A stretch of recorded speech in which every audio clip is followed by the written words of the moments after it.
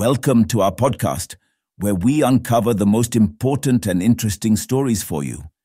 In this episode, we will discuss scientists to grow the first tree on Mars and the innovative methods they'll use to make it happen.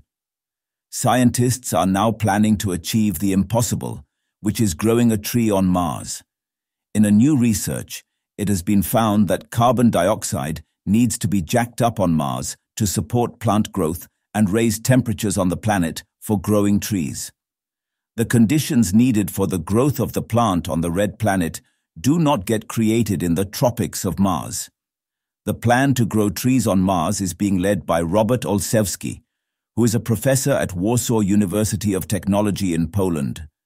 Researchers have studied the surface energy balance on the planet, like the diffusive exchange of heat between evaporation and carbon dioxide condensation, transport of heat by atmospheric circulation and heat exchange with the subsurface.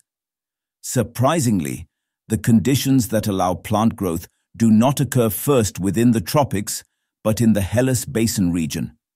A further increase in the greenhouse effect expands the area suitable for plant growth in the southern hemisphere, explained the research paper. Olszewski and his research team used Viking Mars lander temperature and pressure datasets created in the 1970s and simulated different processes on Mars. Here, we use the baseline model to investigate the greenhouse effect caused by an increase in CO2 plus artificial greenhouse warming. Olszewski said in a paper presented at an Astrobiology and the Future of Life meeting, organized at the Lunar and Planetary Institute in Houston, Texas. They also assessed the total pressure required on Mars, the O2 needed, a high percentage of acceptable CO2, temperatures required for tree growth, and the amount of water available. The atmospheric conditions existing on Mars today make the existence of life impossible. The requirements for plant growth on Mars have been considered in the context of terraforming and for low-pressure greenhouses, Olszewski said. The research emphasized on temperature, as this is the fundamental environmental variable that changes during terraforming, and it controls the CO2 cycle and the formation of liquid water.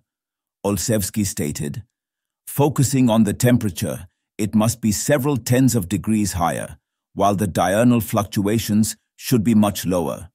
For the growth of trees, the growing season must last at least 110 sols, stated the research. That's all from this podcast. Thanks for listening. We have many more such compelling episodes for you. Enjoy them. Do share your opinion in the comment box and subscribe to us for more.